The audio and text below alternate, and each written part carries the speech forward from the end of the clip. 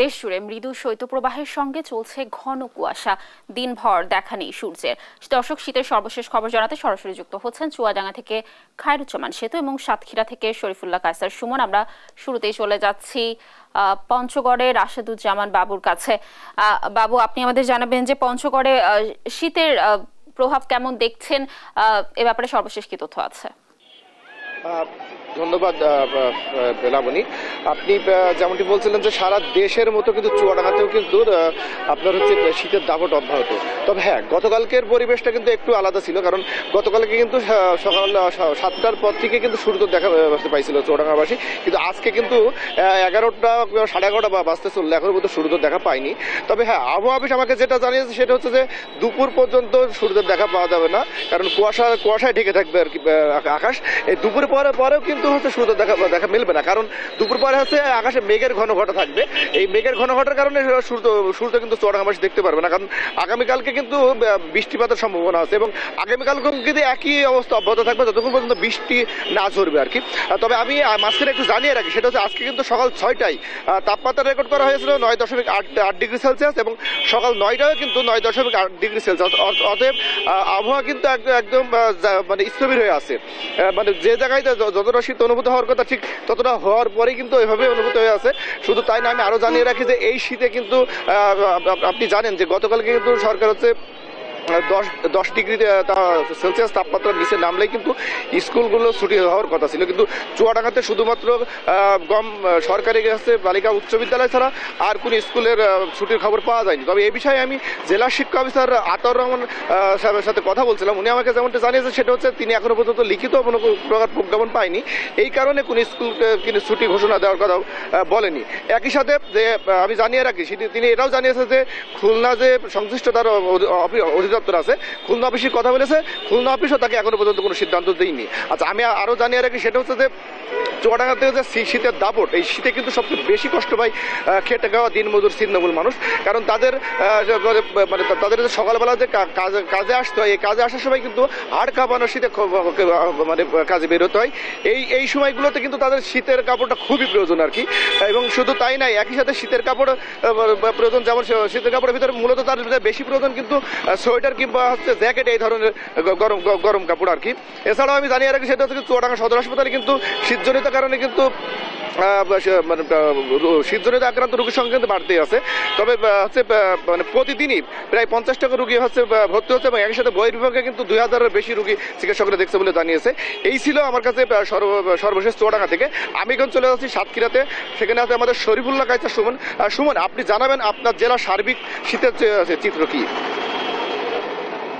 কিন্তু কোনো রকমেই কিন্তু কোনো কিছু শুনতে পার মানে তারা ঠান্ডায় নাকাল হয়ে পড়েছে, একেবারে স্বাভাবিক অবস্থা থেকে দুরবস্থার মধ্যে পড়ে গিয়েছে। কি অবস্থা বলুন তো আপনাদের? বিশাল শীত শীত, বিশাল শীত, এত শীত। আমাদের মনে করেন বাইরে যাচ্ছে না। আর বিলের ভিতরে থাকি আমরা, আর এমনি তো আয় রোজগার নাই তেমন একটা। বিশাল শীত এমন শীত এই দুরবস্থার মধ্যেও এই দুরবস্থার মধ্যে কি বৃদ্ধদের যে কি অবস্থা আমরা একটু জানার চেষ্টা করি। খুব খুব কষ্ট হচ্ছে শীতের জন্য।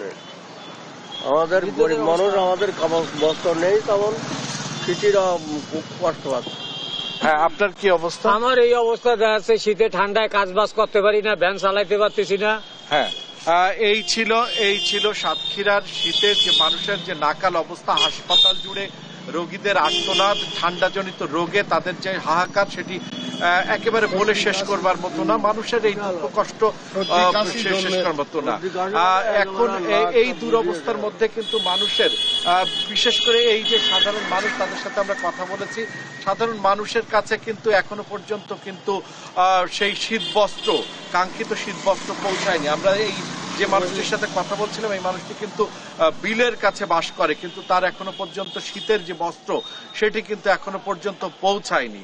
আমরা একই সাথে আমরা উপকূলীয় যেসব আশাশুনি শ্যামনগর এসব অঞ্চলে আমরা কথা বলেছি, সেসব জায়গায় কিন্তু মানুষ কিন্তু অত্যন্ত কষ্ট পাচ্ছে, বিশেষ করে নদী উপকূলীয় যেসব মানুষ, তারা কিন্তু শীত বস্ত্রের অভাবে সাংঘাতিক ভাবে তারা কিন্তু শীত ভোগ করছে এবং রোগে আক্রান্ত হচ্ছে এবং এই রোগে আক্রান্ত মানুষের সংখ্যার মধ্যে বিপুল সংখ্যক মানুষ হচ্ছে বয়োবৃদ্ধ এবং একই সাথে কিন্তু শিশুরা।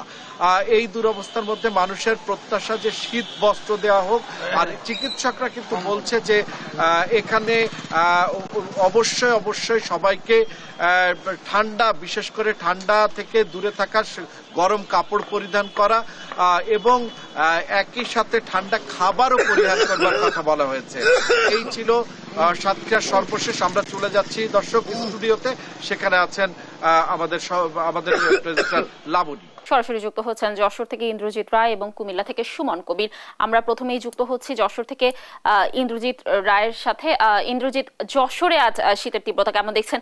আহ, সেখানে শীতের কারণে জনদুর্ভোগের ব্যাপারেও জানাবেন আমাদের। আহ, ধন্যবাদ লাবণী। যশোরে আজ তাপমাত্রা সর্বনিম্ন রেকর্ড করা হয়েছে দশ দশমিক আট ডিগ্রি সেলসিয়াস। এখন সাড়ে এগারোটা বাজে প্রায়। এখনও কিন্তু সূর্যের দেখা মেলেনি যশোরে। অর্থাৎ গত কয়েকদিনের যে শীত শীতের যে তীব্রতা, সেখানে কিন্তু সবচেয়ে বেশি ভোগান্তির শিকার হচ্ছেন যারা নিম্ন আয়ের মানুষ আছেন, যারা হতদরিদ্র মানুষ আছেন, তারা কিন্তু সবচেয়ে বেশি ভোগান্তির শিকার হচ্ছেন। এবং এখানে আমি জানিয়ে রাখি যে ঠান্ডাজনিত নানা রোগে কিন্তু শিশু এবং বৃদ্ধরা কিন্তু আক্রান্ত হচ্ছে। হাসপাতালগুলোতেও কিন্তু রোগীদের যে চাপ, সেটি আমরা দেখেছি এবং প্রচণ্ড চাপ হিমশিম খাচ্ছে হাসপাতাল কর্তৃপক্ষ। সব মিলিয়ে যশোরের যে শীতের যে তীব্রতা, সেটি কিন্তু চরম ভোগান্তির শিকার হচ্ছে।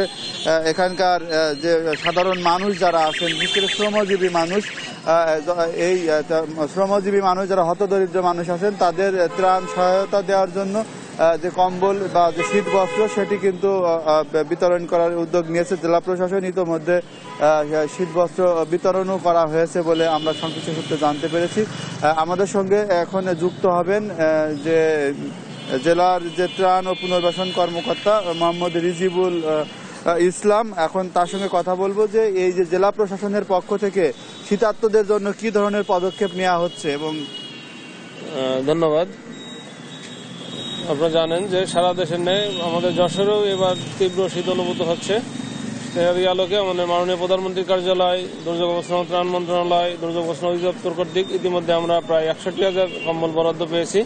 তার মধ্যে পঞ্চান্ন হাজার কম্বল ইতিমধ্যে আমরা বিভিন্ন জেলা, উপজেলা, ইউনিয়ন পর্যায়ে পৌরসভা পর্যায়ে বিতরণ সম্পন্ন হয়েছে। বাকি ছয় হাজারের বিতরণ প্রক্রিয়াধীন রয়েছে। আপনারা আরও জানবেন যে আমাদের মাননীয় সচিব মহোদয় এবং ডিজি মহোদয় এবং সদ্য নিয়োগপ্রাপ্ত প্রতিমন্ত্রী মহোদয় নির্দেশনা দিয়েছেন যে এই শীতে নিম্ন আয়ের বা হতদরিদ্র মানুষ যেন কোনো ক্রমে কষ্ট না পায়। যেখানে যে সহযোগিতা দরকার, আমরা প্রয়োজনে আমরা যদি ডিমান্ড দিই বা চাহিদা দিই, তারা সেই রকম সহযোগিতা করবে। এভাবে আশ্বস্ত করেছে। আশা করি আমরা সকলে মিলে এটা কি পর্যাপ্ত কিনা পর্যাপ্ত আমরা আমাদের যশোরে আমাদের পরিসংখ্যান ব্যুরোর তথ্য অনুযায়ী আমাদের যশোরে প্রায় এক লক্ষ পঁচাশি হাজার হতদরিদ্র বা দরিদ্র পরিবার রয়েছে। ধন্যবাদ আপনাকে। আপনি যেমনটি শুনছিলেন, যশোরে কিন্তু এক লক্ষাধিক যে হতদরিদ্র মানুষ রয়েছে তার মধ্যে একষট্টি হাজার কম্বল এখানে সরকারিভাবে বরাদ্দ দেওয়া হয়েছে। একই সঙ্গে বেসরকারি বা স্বেচ্ছাসেবী সংগঠন যারা আছেন, তারা কিন্তু নানাভাবে এই শীতার্তদের মাঝে শীত বস্ত্র বিতরণ করছেন। তো এই ছিল আমার কাছে যশোর থেকে সর্বশেষ। আমরা এখন চলে যাচ্ছি কুমিল্লাতে সহকর্মী সুমন কবিরের কাছে। সুমন আপনি যেটা বলছিলেন যে আসলে শীতের তীব্রতা আসলে সারা বাংলাদেশ ব্যাপী তো কুমিল্লা তার ব্যতিক্রম নয়। তবে একটা বিষয় জানা রাখি, কুমিল্লায় আজকে যে সকালবেলা যে শীতের তীব্রতা আমরা দেখেছি, এখন বেলা করার সাথে সাথে আসলে রাতভর শীতের তীব্রতার পর সকাল ঘন কুয়াশার সাথে সূর্যের দেখা না মিলায় আসলে জনজীবন বিপর্যস্ত হয়ে পড়েছে। তবে একটা বিষয় আমি জানি রাখি, কুমিল্লার গতকাল রাত ছিল দশ ডিগ্রি সেন্টিগ্রেড, তবে আজ বেলা এগারোটার মধ্যে এখন চোদ্দ ডিগ্রি সেন্টিগ্রেড সেন্টিগ্রেড তাপমাত্রা চলছে। তবে একটা বিষয় জানা রাখি শীতের এই তীব্রতার মাঝে আসলে সকলে যারা জনজীবন বিপর্যস্ত হয়ে পড়েছে, তারা আসলে আগুন জায়গায় জায়গায় আমি দেখেছি, এভাবে আগুন পোহাতে আসলে একটা বিষয় জানা রাখি, কুমিল্লার শীতের তীব্রতার কারণে কুমিল্লার যে পূর্বাঞ্চল রয়েছে, প্রায় দুই হতে আড়াই লক্ষ লোক রয়েছে, তারা আসলে শীতের তীব্রতার কারণে গ্যাস সংকট দেখা দিয়েছে এবং তারা জনজীবন বিপর্যস্ত হয়ে পড়েছে সাধারণ মানুষের। তারা বলছেন শীতের তীব্রতা গ্যাস সংকট হওয়ার কারণ কেন, এটা তারা বুঝতে পারে তবে এখানে আমরা কালকে কথা বলেছিলাম, বাকরাবাদ, তারা বলেছেন, গ্যাসের তীব্রতার কারণে শীতের প্রভাবের কারণে আসলে গ্যাস বসে যায়, এই কারণে গ্যাস সংকট দেখা দিয়েছে। আর এ কারণে কুমিল্লা আসলে শীতের তীব্রতা বিভিন্ন হসপিটালে আমি কথা বলেছি এবং জানি, জেনেছি এবং শীতের তীব্রতার কারণে জনজীবন বিপর্যস্ত হয়ে পড়েছে এবং শিশু এবং বৃদ্ধ যারা রয়েছে তারা তারা এসব শ্বাসকষ্ট এবং নিউমোনিয়া রোগীর সংখ্যা বেড়ে গেছে। আবার একটা জানা নাকি কুমিল্লা প্রত্যেকটা অঞ্চল, যেমন জগন্নাথপুর, তারপরে নূরপুর, হতে শুরু করে কুমিল্লা, হতে সিটি কর্পোরেশনের অনেকগুলো ওয়ার্ড জগন্নাথ ইউনিয়ন সহকারে প্রায় প্রত্যেকটা লোক গ্যাস সংকটে রয়েছে, তারা বলছেন যে, আমরা সকাল ভোর পাঁচটা থেকে গ্যাস যায়, রাত সাড়ে বারোটার সময় গ্যাস আসে। আসলে কুমিল্লার এই গ্যাস সংকটের কারণে শীতের তীব্রতার কারণে মানুষ বাইরে গ্যাস জ্বালা, গ্যাস নাই, লার্কি দিয়ে আগুন পোহাতে হয় এবং লার্কি দিয়ে তারা কাজ করতে হয় এবং রান্না করতে হয়। আসলে সবকিছু মিলিয়ে কুমিল্লার যে পর্যায়ে আমি বলছি তীব্র শীত। গত বিশ বছরে এরকম শীত পড়েনি কুমিল্লায় যেটা আবার পড়ছে। তবে একটা বিষয় জানা কি কুমিল্লার এই আদ্যপান্ত যায় বলি না কেন? কুমিল্লা যারা কৃষক কাজ করছেন বোরো ধান ফলন করছেন, বোরো ধানের কারণে তারা কৃষকরা মাঠে যাচ্ছেন এবং তারা খুব কষ্টে আছেন। তারা বলছেন, আমরা শীত তীব্র শীতের মাঝেও বোরো ধান ফলন করতে হবে। আসলে কুমিল্লার কৃষকটাও বলছেন যে সরকার ফ্যাটের দায় আসলে কাজ করতে হবে। এই তীব্র শীত আর কতদিন থাকবে? এই বিষয়টা আসলে এখন পর্যন্ত স্পষ্ট না। আবহাওয়াবিদ যারা বলছেন, তারা বলছেন, এই মাস ব্যাপী এইরকম তীব্র শীত পড়তেই থাকবে। তবে একটা বিষয় জানা নাকি কুমিল্লা আসলে তীব্র শীতের কারণে অনেক সমস্যা দেখা যাচ্ছে জেলা প্রশাসনের সাথে কথা বলেছিলাম, উনি যারা উদ্বস্ত এবং যারা উদ্বস্ত রয়েছেন এবং যারা গরিব জনসাধারণ রয়েছে, তাদের মাঝে শীতবস্ত্র কম্বল, জেলা পুলিশ সুপার করেছেন জেলা প্রশাসন করছেন এবং বিভিন্ন জনপ্রতিনিধি রয়েছেন, তারাও শীতে বস্ত্র মানে বস্ত্র দেওয়া শুরু করেছেন। তবে এই ছিল কুমিল্লা থেকে সর্বশেষ, লাবণী। ধন্যবাদ সুমন এবং ইন্দ্রজিৎ আমাদের সাথে যুক্ত থাকার জন্য। দর্শক, সারা দেশে শীতের জন্য মৃদু শৈত্যপ্রবাহ চলছে। সে ব্যাপারে দেশের বিভিন্ন প্রান্ত থেকে বিস্তারিত তথ্য জানাচ্ছিলেন আমাদের সহকর্মীরা।